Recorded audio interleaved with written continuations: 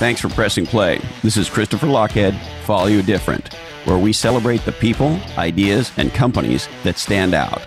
And we are proudly sponsored by the awesome people at Oracle NetSuite. To turbocharge the growth of your business, check out netsuite.com slash different.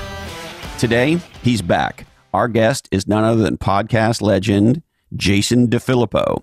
Jason is the executive producer of one of the most uh, high profile and successful podcasts in the world, The Jordan Harbinger Show. And he also co hosts an extraordinary podcast called Grumpy Old Geeks. And today we're going to get our grump on. We're going to moan and groan, hopefully in a fun way. and uh, we talk about things like facial recognition technology, uh, the fact that kale is becoming a baby name, why American Airlines and Marriott suck so much, and a whole lot more. Go to lochhead.com, L O C H H E A D, uh, to check out the show notes for this episode, learn more about Jason, and grab the key takeaways. And we have a whole bunch of links about the various topics that we touch on. So strap yourself in. Hey ho, let's go. Your face is a boarding pass and um, ID and a passport. This is an interesting concept. I'm I'm torn on this one. I see it as it's going to happen. It's going to happen. Everybody's doing facial recognition, face ID, and things like that, but nobody's doing it right.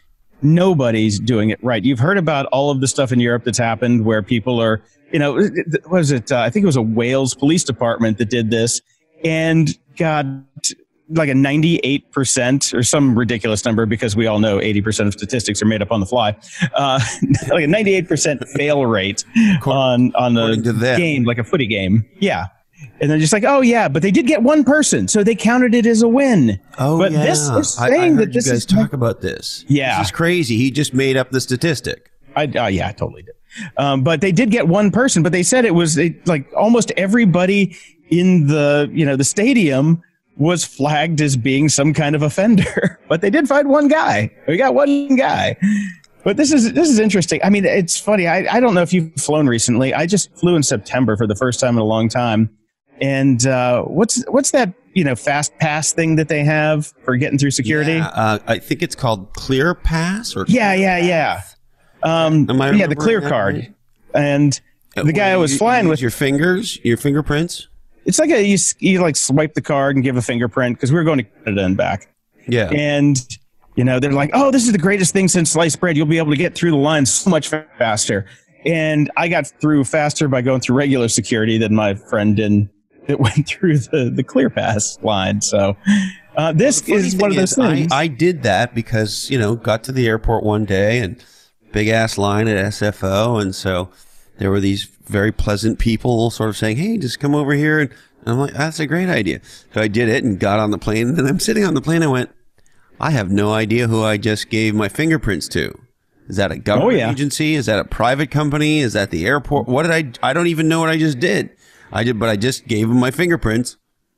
Yeah, I'm pretty sure it's a private company that uh, is yeah. outsourcing everything to the government because you know nothing nothing is run by the federal government anymore not even the prisons. So but uh, that's a whole other conversation. That's I a whole other shocked by how quickly i just gave away my fingerprints uh, for convenience and and didn't think about it and was sort of a little spooked afterwards.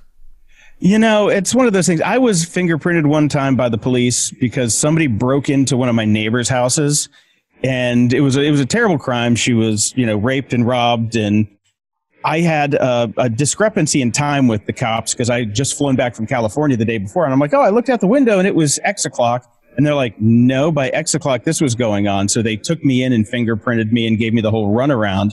And then, of course, when they were done, they I'm like, well, so what's this guy supposed to look like? And he's like, well, he's five nine and two eighty, and I'm like, uh, I'm six feet tall and 220. So what the hell, guys? So I was wigged out by that, but now my fingerprints are on file. And I've, for years, I've worried about that. So I know that feeling that you get though when you give up just that little bit of yourself to these people and you yeah. just don't know where it's going to, where it's going to end up someday. And so, you know, there's this theme I've been on that the, the, the future has happened, right? And I just think about it and go, okay, so, um, the Atlanta airport is the busiest airport, I think, in the world. And now Delta allows you to just use your face through security and as a as as a boarding pass. Like that is a mind blowing reality to me. Yeah, you sign. You, you basically sign in by looking at the camera. You get your boarding pass, and you just go and uh, drop your bags off by looking at the camera. And you go through TSA by looking at the camera. And they're saying that it's ninety percent accurate, but on this kind of thing, is ninety eight percent good enough? What do you think?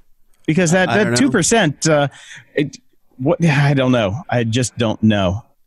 It's very trippy, and uh, my friend Duncan Davidson says you never want to be a luddite. So, but we, it's the future is here. All right, here's the next one we got. I, I thought you, of all people, would love this. I, I I picked this for you in, in, in honor of you, Jason. All right. There is an AI robot sulking in the International Space Station. So Why is he heard- sulking? Had you heard this story? I've heard about CIMON, the the flying robot that we sent up there, the six million dollar flying robot that kind of flies around because it looks like the face was designed with Windows Paint, but I haven't seen anything since it's gotten up there. Okay, so you're going to love this story. So this robot CIMON was I'm reading an article on Quartz here was supposed to be more than a colleague for the small team of astronauts aboard the International Space Station. CIMON was supposed to be a friend. Oh, But isn't that sweet? In its first recorded interaction in space, the floating robot head, voice user interface assistant, uh, there's a category description for you, got a little testy. CIMON's engineers did everything they could to smooth over, over their robot's future interactions with astronaut Alexander Gerst. Anyway, they go on to talk about the fact that CIMON starts playing a song by a band you might remember called Kraftwerk called The Man Machine. Out of all the songs that it could play when it gets into space, they picked Kraftwerk. Kraftwerk of all things, exactly. That's a very specific, like you know, taste subgenre right there. well. It gets worse. So Gerst, the astronaut, listened politely to the first forty-six seconds of the song. So that's how far he makes it, Jace. Uh huh. Even bopping along with his fist for a few bars, but then he reached out and shook CIMON's head and said, "Please stop playing music." Anyway, the story goes on. CIMON won't stop playing music, and they get into a fight about this music. He got in a fight with a six million dollar floating robot Yeah. head because it Yeah. wouldn't stop playing music. Now, is this just bad programming? You think, or like did they just pick the wrong playlist? Like maybe this is one of the programmers' playlists and just threw it up there and like you know everybody's like ah I don't like this, so he just kept playing it over and over again. It's like it'd be like a bad recommendation engine in space. But like, this is like a Tinder date gone horribly wrong. This is their first interaction, right? Well, and this thing was I hope he's not designed to be this guy's friend, right? He was Yeah. his AI friend in space. did, The did first thing really they did was have a fight about about Kraftwerk music. You know, they, they they could have tested this on the ground first. You didn't need to actually send the robot up there to do this. They could have sent like you know put the software on an iPad and done Yeah. it. All right, here's what I heard recently that I don't know why, but it also made me think would be fun to talk to you about. Kale, K A L E, is a baby name now. Yeah, yeah, doesn't surprise me. I, I don't know if you heard on our one of our recent shows, we actually covered somebody who worked for an airline actually made fun of a passenger because the child's name was ABCDE, also known as Absidae, and publicly shamed them. Oh, really? publicly shamed them over the like the voice and then like took a picture of the boarding pass and posted it to their Instagram. Yeah. I had not heard that. How, how do you pronounce it again? Absidae. Absidae. Middle name. Fujigugugaba. Well, hey, they get high points for creativity. Yeah, yeah, do. I, but kale? Really? I mean, nobody likes kale. Why would you name your baby kale? Everybody hates it. I- I Except don't like Obama. Obama loves kale salad. Well, I, I will, in defense of kale, though, I will say this. So I live with a Italian person, and she can cook. Like I live, in, mm-hmm. I live in food heaven, and she makes a kale Caesar salad that for, and I hate kale. Like I, I'm not interested. It's fantastic. Okay. Well, next, maybe when you invite me up there, I want to try it. It, I, I, I want to try this because I've never had it. Everybody says like they have their kale dish and it's the best in the world, but nobody's Yeah. actually delivered yet. So I never thought I'd be the guy defending kale. Yeah, you don't seem like that guy. yeah, I, don't feel like that guy. All right, now I got a fun story for you. I like some of the other health food names in this article. Uh, you've got Oh, kale, yeah. you've got kiwi, you've got saffron. Uh, saffron's, kinda saffron's not bad. Yeah, I like saffron. You know, Yeah. it, it sounds like a very healthy stripper name. That's kind of where we go with that. And then I thought you might like this, Oaklyn. Oak. Oakland. A. Oh, like Oakland, the city. No, like like oak, like an oak oh. tree, and Lynn stuck together. Jumped 1,072 spots in the ranking. Oakland. Wow, that's weird. Yeah. Why? Why would that jump up? Is it was it like a is like a character in some kind of you know Harry Potter book or something or some? May- Maybe I, I I'm completely oblivious, but it is it is coming up the charts with a bullet. it is called Casey Kasem. Exactly. you know, keep your feet on the ground and keep reaching for the stars. All right, so this So I'm going to look this up because there's there's actually a site called Mom 365, and the meaning of the name Oakland is, oh, guess what? There is no meaning for the name Oakland, and there. That's, that's what it. it says. Yep, it's it's a female name, but there is no meaning under the name Oakland. That's funny. That's kind of sad. Yeah. Hey, you know what? Whatever name, like that's the beauty of this country. You're free to do whatever you like, and who the hell am I to judge? Hey, hey, man, you know what it is? Um, I, I still say that one of the greatest uh, songs of all time is Johnny Cash's "A Boy Named Sue." So, Right. you can at least get a good song out of it.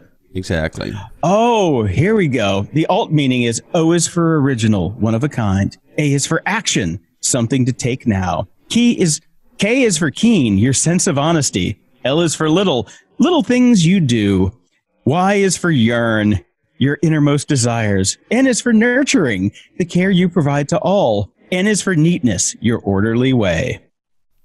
This had to come from somewhere. This is crazy. This feels very made up to me. oh my This God. feels very made up to me. Yep, yep. But people are doing it. People are doing it. Must be one of those things, uh, you know. But it, it, you know, it's probably an Instagram meme that somebody just took and ran with. Now, hey, there's this crazy thing. Not, not. We're, we're going to get out of sequence on our notes here, Jason. If that's okay with you, I'm literally little. Dude, jump around, jump around, jump up, jump up, and get down. I don't care. So I'm fascinated to have this conversation with you. Dude uses drone to catch cheating wife, right? So Yep. this dude thinks his wife's cheating on him, chases her without her knowledge. Uh, she goes to meet her boyfriend at the CVS around the block, right? And he's got it all on video, drone video, and he's edited it, and he cries and he yells and he and he, you know, it's Break some glass. Right. Very punk rock of him. So that happens. Then Mm-hmm. on April Fool's Day, he comes out and admitted admits the whole thing was a hoax. But he does it on April Fool's Day, and he specifically says, "I will answer your questions, but I won't answer any questions about whether or not this video is a hoax." Mm-hmm. So, Yeah. what's going on here, Jason? Well, did you see the video where he pulls around in the minivan and flies the drone down, and it's him standing there? Oh no, I didn't see that one. Yeah, yeah, he actually posted that one where like you know, she gets in the car, they drive away, and he drives her around the other side of the the you know building and comes back out, and then has the remote control for the drone in his hand and flies it down, and it's him. The whole thing was a prank all the way across the board. The thing about it is. 14.5 million views on the drone used to catch my cheating wife video. The And he just video where he says it was a prank is like 16,000. So, Right. No, there's news And- articles yeah. written about it. yeah. But here's the thing. Why would he announce that it was a hoax on April 1st? Try and get more buzz, try and keep it a game. I think he's told. I, I, think he's just trying to game the system. Honestly, I think he didn't get enough subscribes because you look at his subscriber count on YouTube, which we also both know that YouTube subscribe numbers are bullshit since they changed everything. It's fifty-two thousand on YouTube for his channel. For somebody that has fourteen point five million views and has been on national TV, that's weird. That's a really strange number. That's what I'm saying. So that there, there's some there's some you know little ripples in the matrix here that something is wrong. So what what do you think's going on here? I think he's a bullshit artist, and he got the whole thing's yeah, a hoax. I think the whole thing's a hoax, and he tried to like get more press to say it was a hoax, and then keep people guessing because he did it on April first. Because so then they would ask him back on the show, and then he wouldn't talk about it, so he so could get more press to get more downloads to get more ad revenue. I think he's, he's a social a, media Kardashian. He's a yeah. It, well, he's even worse. He's just a, a straight up troll. He's a tra- straight up troll. I liked his first video though. I thought he was very clever. He was he, he was you know in my camp with you know at least you know the the outrage. The outrage seemed real, but. Yeah. Although you know, we very well edited, and you know how he sped it up, and he sort of narrated it very well. It was very well done. I thought I was like, this is very well done. Hmm. Yeah, yeah, it's a very professional video. You know why? Because he thought about it for a long time before yeah. he made it. Crazy. All right, now this was another story that immediately made me think of you. AI news anchor makes debut in China. Did you see this thing? I'm I'm pulling it up right now. I have seen the stories about it. I have yeah, seen the stories. You see the AI. You yeah, it see looks good. He looks, you know, like a person. Yeah. You know? He He's actually pretty... based on a real news anchor. Yeah. I mean, there's still a lot of uncanny valley going on right here. And, you know, are you familiar with the uncanny valley? No. That's when something that looks fake and something that looks real, there's that, there's a dip in perception between something that you know is fake, like a cartoon, you know, and then something that looks real, like real TV. Yeah this guy is like, you know, he's he's coming up the curve on the uncanny valley because what it is, it's like, you know, your your perception of what that video looks like, you can tell that it's fake up until a certain point, just because of little things. Right. Very tiny things but can trip not, us up. We're a long way from max headroom. Oh man, I miss Max Headroom. I miss Max Headroom. Right? That was a yeah. very uh that was a very uh, iconic for the time character, wasn't he? Yeah, was that Matt Frewer? Was was Max Headroom? I think that was his, the actor's name, but man, I love that show so much. Yeah, and he was in a lot so of ads much. and shit too, wasn't he? Oh, he made a fortune off of Max Headroom. Yeah, he was in Coke ad, or maybe he did Pepsi. I can't even remember, but he yeah. was definitely uh, definitely made a lot of money off this. This is this is just trying to you know be like a straight laced Dan Rather type of anchor man. You know, yeah, it's, I, I, it's I don't trippy though. I kind of yeah. want a person reading me the news, don't I? Well, I think it would be cheaper, wouldn't it? I mean, come on, you can just pay somebody to read the damn news. Why do you have to create an AI anchorman to do this? I don't know. I, I see because, like, you know, if you think about famous news anchors, you you just like with podcasts, you you develop a relationship with them, right? Are we really going to feel a connection to this dude, this AI dude, this you know, t- Max Headroom? Well, look at Japan. Japan has a lot of virtual celebrities that never existed that people are actually getting yeah, married true. to. So that's a, getting married to. Oh, you can get married to people that don't exist in Japan. It's kind of crazy. Uh, I think we actually. What? Yeah. um, now you got to tell me. More. I got. I got to pull this one up for you because you can uh, marry non-existent things in Japan. Yeah, y- you can. It's what it. How does that? It's basically an anime character, and they do VR weddings. They this is an old. It's an older thing, but you know, people are marrying people in VR that don't exist. uh huh. That's mental. Well, have you have you been to Japan? I haven't, but I do enough I, research on Japan, Japan, to know that many times things are I'm, very strange over in Japan. Well, so, I, like, you know, hey, I would just say it's very different. Like, this, and certainly sense of humor is is very different. The other thing is, I know a lot of people like it, and this opinion gets me into trouble, but I think karaoke is the work of the devil. well, the problem uh, the problem I have with karaoke is that I think Journey is the work of the devil, and everybody goes to sing karaoke. They do a Oh. Journey song. Yeah, and nobody can hit those high Steve Perry notes. That's ridiculous. Yeah, no, it's a terrible, terrible thing. Kara- I mean, there there has to be a certain level of inebriation when it comes to karaoke, and it should never be filmed, and it should never it should never be in public without friends that you're just. th- th- There are places in San Francisco that I used to go to where we would get a room, like a soundproof room. They had the TV, they had the disco lights, and you could just go do karaoke with your friends and and bring in your own booze and just get messed up and have a great time. Doing karaoke in public at a bar, Right? not so much my favorite thing ever. it's just Yeah. I'm with you on that. But I think I think karaoke in small doses in a in a controlled environment it might not be bad. I'm actually going on a punk rock cruise for uh, it's, it's not a punk rock cruise, it's Flogging Molly's cruise next year. And they do punk rock Flo- so hold on, karaoke. slow down. Flogging Molly has a cruise. They've been doing it for years, yeah. How long is the cruise? It's 4 days. And do they play every night, or how does how does this work? Well, I think I think they play uh, the headlining, but uh, there's I, I haven't been on it yet, so I don't know. But uh, an old skate punk band, The Faction, is playing.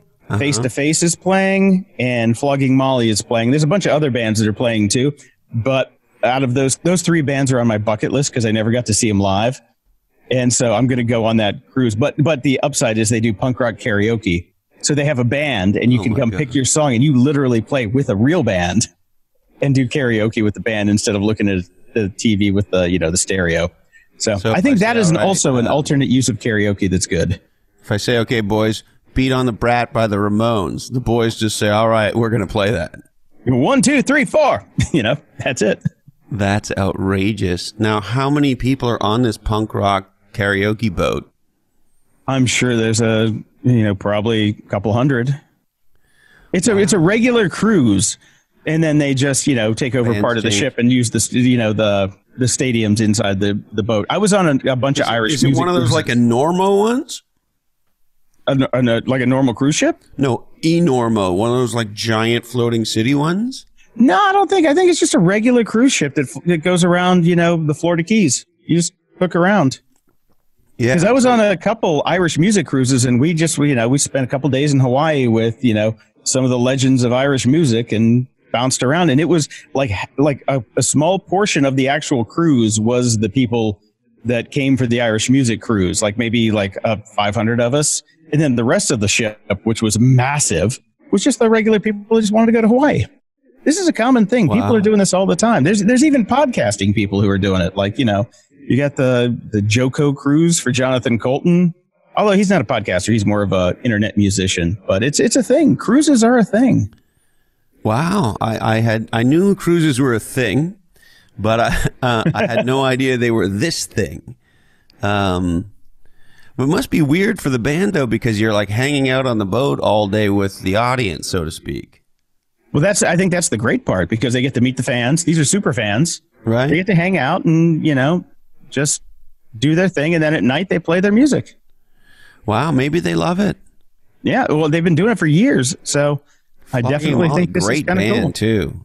I am so mad. I used to see them like, you know, they were, I lived in LA in the early mid 90s, mid 90s, and they played every dive bar that I ever hung out at, but I never got to see them play. And then one day on one of my feeds, I see they open for Green Day in San Francisco at like the stadium. And I'm like, yes, I'm never going to get to see Flogging Molly now. That's it. It's over. It's done. So Yeah, because they got very big there for a while. that was that that show put them over the top and now they just play festivals and stuff it's really hard to get to see them like in the venues that i'm used to i'm used to small punk rock venues you know i used It's to see like I, lots I of those go shows to big and. Normo Dome shows anymore. Really, I mean, No, every no. once in a while I do, but generally my philosophy in life is the more people are at it, the less I want to be near it. yeah. Absolutely. My only my only time that i i broke my rule was riot fest in chicago. I don't know if you've ever if you've heard about riot fest but no, I don't know. it's a multi-day festival. They take over a park and it's um punk rock shows metal shows. It's just it's a you know 50 60 band or not even more than that probably 100 bands play. But I went last time because the band Jawbreaker got back together and played, and I'd seen Jawbreaker 30, 40 times when I was a kid, but they broke up. And I'm like, oh, I'm going to go back and see Jawbreaker. And it was a festival, but it was nice. I had a, actually a really good time because I got into it with all the kids that got into Jawbreaker. I'm like, you guys were, weren't even born when this band was playing. And it just turned into a big fun thing. But sometimes it can be fun. Sometimes it can't Yeah. If the weather's right, there's not enough bugs, and there's not a lot of traffic trying to go home. That's really what you got to factor into it. Yeah, but there's nothing better than live music, right? Yep. No, definitely. How did how did we get to this after an AI news anchor? I don't know the random path we took to get here. I don't know. That was a that was a good that was a good one. yeah, I have no idea either. So hey, I wanted to talk to you about this Marriott breach because it Oh. blows my mind. And then I saw this crazy ass story that I sent you today. So half a billion people. Hmm. Yeah, and, and just to be clear, this is a Starwood breach. This isn't a Marriott breach. Marriott Right. bought Starwood, and these hackers were in Starwood for years, but then Marriott took them over. So they they basically bought the hacked company. That's Half- a real Half issue. a billion people, Jace. Yeah. It's like everybody who travels essentially in the United States. I mean, how have you not stayed at a Starwood hotel if you travel with any kind of regularity? Yeah, probably everybody has. Look, Yeah. uh, Steve Rambam, who's one of my favorite private detectives in the world, says privacy is dead. Get over it, and that's what you just have to deal with. Now, after the Equifax breach last year, and all these other ones, you know, and, and until there is real punishment for these things happening, it's just going to keep happening. Your stuff's out there, What- and you, then you'll get the token one year of credit monitoring, which then they'll just bill you for, which is even funnier. That's that's what they're going to do to compensate people for this. We're going to give you one free year of credit monitoring. Are you Pretty much, yeah. crazy? Yeah, that's a, that's, That's, what the you response. get. That that's your consolation prize, my man. That's your consolation prize. And look, I am not a big, uh, you know, more regulation guy. Far from it. But you look at this and you kind of go, I don't know. I maybe somebody needs to go to jail here, or something. you know, there needs to be, or, or there needs to be a fine that hurts. You know, like when they find these giant banks twenty million dollars. It's like really. Twenty million dollars is like like I said on, on one of my last shows. That's like their coffee creamer budget Right. for the And for the staff. It's nothing. I don't know. I'm not a big regulation guy at all, but this it, there se- it's it seems to me there should be Well, maybe kind of the- a disincentive regulation? do this.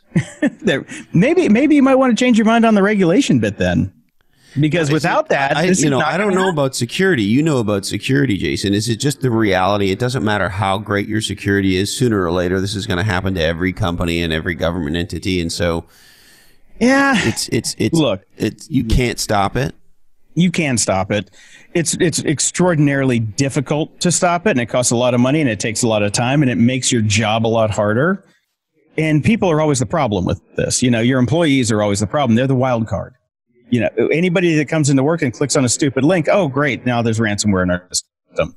But Yeah. there are solutions that are out there that do filter for things and can, you know, detect these kinds of things. But I, you know, Starwood was just criminally negligent in how they handled their network. Wow, that's That a big statement. Well, they, they are. I mean, look at it 500 million people. I wouldn't, you, you just said, you know, jail time, maybe? It, The thing it is- it's a mind-boggling thing to think about for sure. Yeah. And I also start to think that this is something that we're going to be talking about on Grumpy Old Geek soon. It's just, I'm, I'm putting my thoughts together on this, but I honestly think the OS vendors, the operating system vendors, need to be more accountable as well. I think this is something where, you know, Windows and, you know, Mac and Linux, Linux unfortunately is open source. So if you use Linux, you're on your own. But uh, the Mac OS and Windows, these guys need to be a little bit more accountable with all the giant gaping holes that they leave open in their OS. But there should be, you know, if, if there's a reasonable way to protect your users' data and you don't do it and it gets stolen, you know, just go to, there should be fines. There should be jail time for some of the people that let this happen. GDPR right now, if you are in breach of GDPR, they can fine you for up to 4% of your gross revenues for your company for the entire year. Wow. So GDPR is really like the first step teeth. towards that. Yeah. Well, and then I thought this was interesting. this TechCrunch story that um, some security geeks went to work on safeguarding the world because Marriott wasn't. Oh yeah, because the, this is a really dumb one. I mean, Marriott needs to just they, they need to fire their entire security staff right now because the emails that came out came from email like it was like email-marriott.com which yeah it was email because completely marriott.com yeah how, how many r's how many t's firm how two r's mm-hmm. and two t's so if you if you just put one t then you know it could have been phished because we saw this with equifax they didn't use their main website it should have just been at Marriott.com. They created a new website right. to send these things from, which makes zero sense at all. And everybody in, in the security community was just like smacking their head, going, again? Did, did, does nobody learn from these things?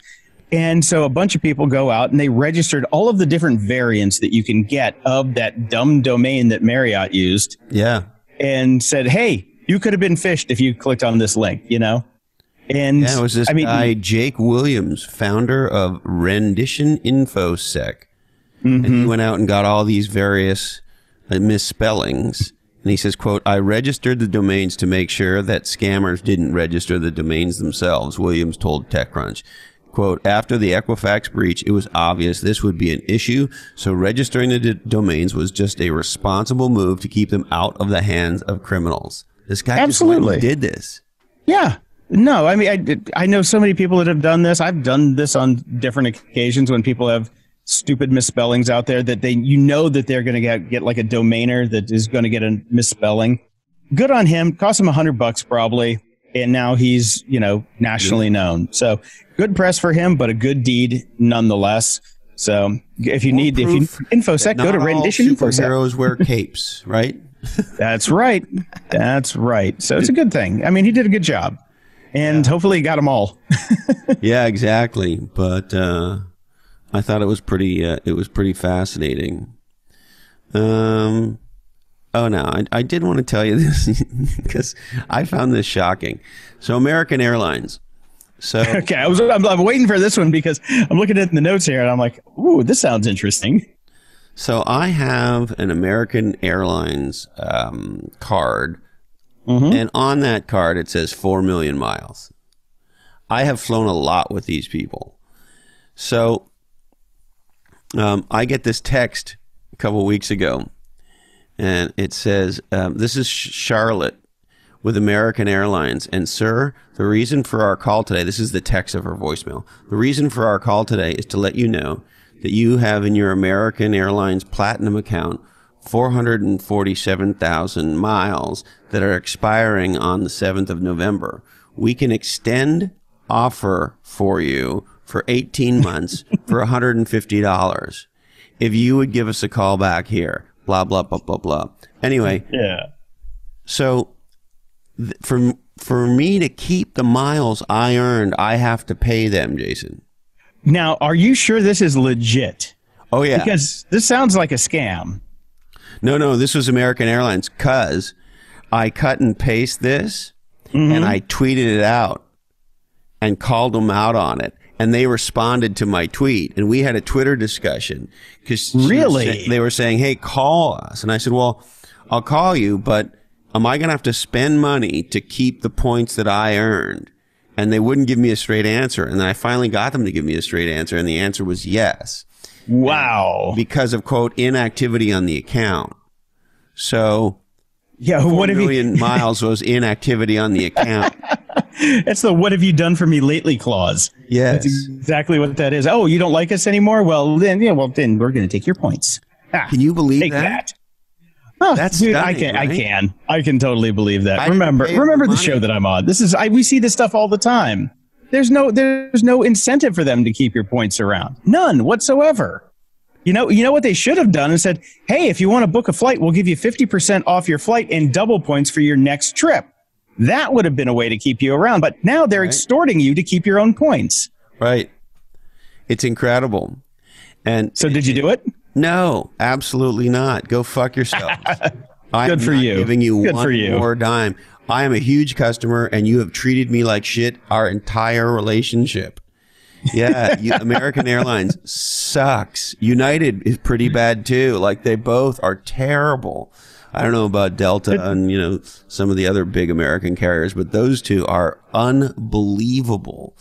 Um, you know, I've seen this stuff go in waves because I grew up flying United since I was seven. So I've been flying United for like 40 years now.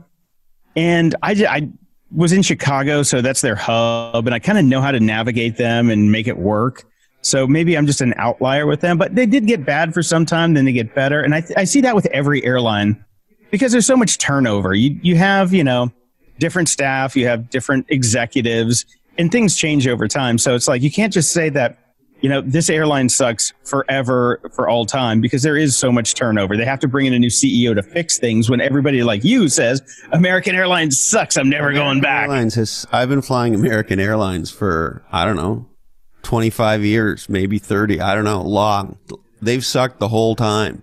They never didn't suck. Maybe there were times where they sucked a little less, but they always sucked. Yeah. Man, you've got a serious case of sunk cost fallacy because I'd have changed airlines after they sucked for the first five years. Well, you know, what them for 25. Do? Now, my favorite airline is always direct, right? That's always my favorite airline. But brand wise, um, you got to love Southwest. No, I hate Southwest. Hate I Southwest. hate Southwest. I loved Virgin America. Oh yes, God Virgin bless. America was Me the too. best airline ever, hands down. Yes. And now that they're gone, I'm just sad. It's terrible, so right? It sucks so much. What yeah. were they thinking at Alaska to, to subsume that brand and just make it Alaska? It's like, uh, you're stupid. If, if you were smart, you would have made Alaska Airlines into Virgin America. Totally. That's exactly what they should have done. I mean, that flight oh. from San Francisco to New York on Virgin Air was a blast. It was part of the, they, they made flying an experience again. It was part of your trip. You were like, that was part of the trip. It's part of the yeah. experience of going was being on that plane and that service and the cocktails and the whole thing. Yeah, and and the, like the pilots coming in with their old school leather jackets and flight caps and saying hi to everybody. Yeah, that was cool. It made it into an experience. You're right, and and the lighting and I did figure out how to hack the online, you know, infotainment system the first week that they launched because I was on like the first the first three days I had one of the flights, and you could crash it by playing Doom over and over again really quick. but uh, for I, I've flown them, I flew them the first week that they were in business, and I flew them the last like month that they were in business, and I was very, I was super excited the first. Oh yeah, the first week, and then the last one. And my friend Xeni from Boing Boing, they had a a plane named Unicorn Chaser that they named over at Boing Boing, and I flew that several times, and it always put a smile on my face when I'd like roll up to SFO and I'd see I'd be on the the plane my friend's named. I mean, like that was so cool. That's fun. That's great. Yeah. Yeah. But uh, why do you have to do that to us, Sir Richard? We love you. Well, Sir Richard just said, uh, "Screw it, I'm out." you know. Yeah. He just took his money and ran. I just. It was it was hard for them to get hard for them to get routes here in the U.S. because yeah, the big boys scale. Yeah, with all with all of the consolidation with the big ones, they just, you know, basically strong armed him out. And he's just like, you know what? I'm taking my bucket and going to another playground. I'm going to go do yep. something else. Now, anything else on your uh, on your mind, Jace? No, man. This has been fun. Yeah, this has been very fun. Uh, I love how grumpy you are. to a point, unless I get too sophomoric. But no, actually, there there really isn't too sophomoric for me. That's good to know. That's good to know. Yeah, it's it's really fun. I do have to say that today is one of the greatest days because, uh, you know, I work on the Jordan Harbinger show. I'm a producer, editor, and co-host there. And we woke up to the news this morning that we hit the best of 2018 list uh, from Apple in iTunes for podcasting. Wow, that's started massive. in February, and we still hit the list today. So it's that's like, massive. wow, it's so cool. That I mean, I've had a grin on my face all day, all day. Huge this is the happiest you're ever going to see me. Trust me That's on this a one. huge accomplishment. Uh, especially because not only the number of podcasts, but the number of bigger and bigger media companies who are coming in. And so as an independent podcast to stand out that way is, uh, I think it's a, an even bigger achievement um, as a, as a um, you know entrepreneurial independent business to, to be able to do that. No, it's amazing. And, you know, it all goes down to Jordan and Jen. They have been on the road so much this Yeah. year. It's so much. I couldn't do it. I mean, I'm 47. I can't, I, you can't get me out of bed to even like, you know, go to 7 Eleven for creamer if I'm out, you know. And these guys are traveling around the world, being on other shows, pimping the podcast, doing interviews. I just get to sit at home, play with my dogs, edit the show, and do some production stuff and guest host every now and again all the credit goes to them. But man, it's just really nice to say we started in February. We didn't even get January. We we we didn't even start till February, and we're still in the most downloaded list. And we didn't we didn't know we were going to make it for six months. We all basically didn't take a paycheck, and now it's like, oh, well, hey, it worked. It's Yeah. very nice to see like somebody independent from us, you know, come out and say it because it's not one of the things like where it's the the iTunes top charts, which we all know are gamed to death and back right now. This is like editorially picked, and Yep. it's most we're in the most downloaded cat most downloaded new shows of 2018, and you can't kind of fake that, you know. We No. we earned it, so No, I'm super happy about And- that. So you got me on a good day, my man. My man. awesome, man. Huge congratulations. Um, I, I love the show. Um, I think it keeps getting better. I think it's a lot better than the old show. It's it, it- there's just a flow to it now. Um, and uh, I, I think I told you this before. That two part episode on North Korea, Yeah, yeah, with uh, the guy from Pyongyang that that broke out the kid. that that's that's legendary. That's that's the bar. That was such the demonstration of the power of podcasting. It was insane. Yeah, Um, so you guys have pulled off some unbelievable stuff, and uh, I appreciate that. yeah, no, it's really good, man. I, I'm I couldn't be more stoked for you guys. Yeah, especially after what happened this year.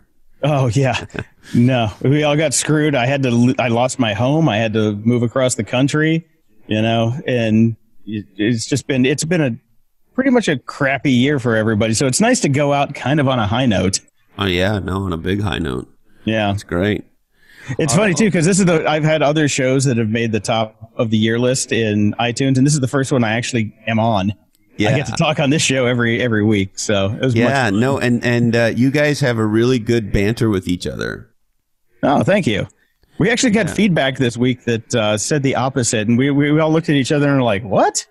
Some guy was just like, "Jordan, you're just so condescending to Jason." I'm like, "If Jordan was condescending to me, I'd take him out back and slap him. That ain't gonna happen." it was very strange. No, I don't get that at all. That's interesting Yeah. what people hear.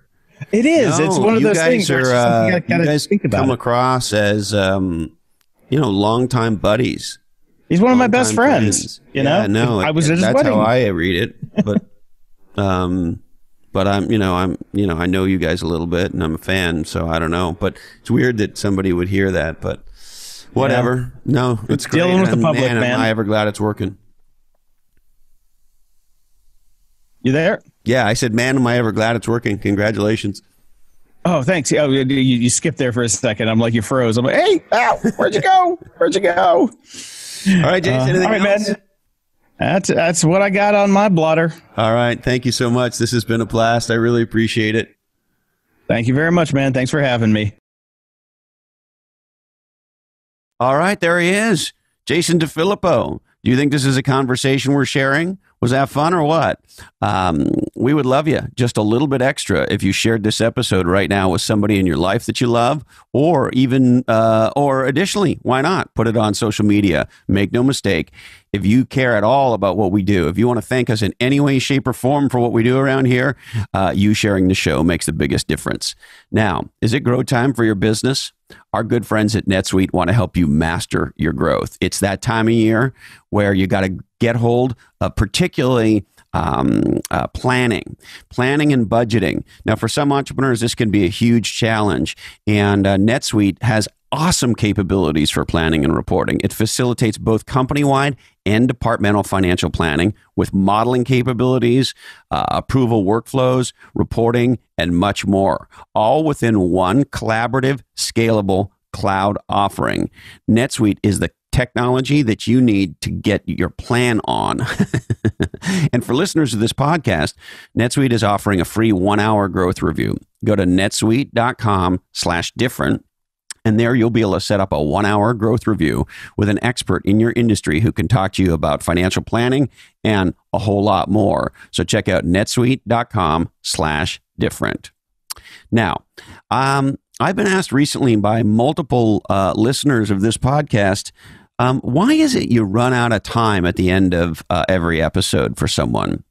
And uh, I thought maybe this would be intuitively obvious, but maybe it's not. If you're a longtime listener, and if you have the courage to sit through all the BS at the end and uh, and hear the very last thing I do before I sign off is uh, I run out of time for someone. Well, the person that I run out of time for, uh, to put it bluntly, is someone I generally think is an asshole.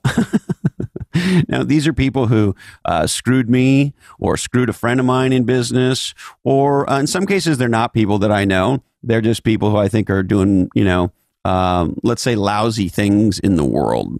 Today, it's going to be a guy named David Brown. He's the CEO of Web.com, who is the parent company to um, uh, Network Solutions. And um, we had a complete shit show with the relaunch of Lochhead.com. And without dragging you through all the details, a big part of the problem was um, the good people at Network Solutions were, to put it mildly, not helpful. And so he's the guy I'm going to run out of time for.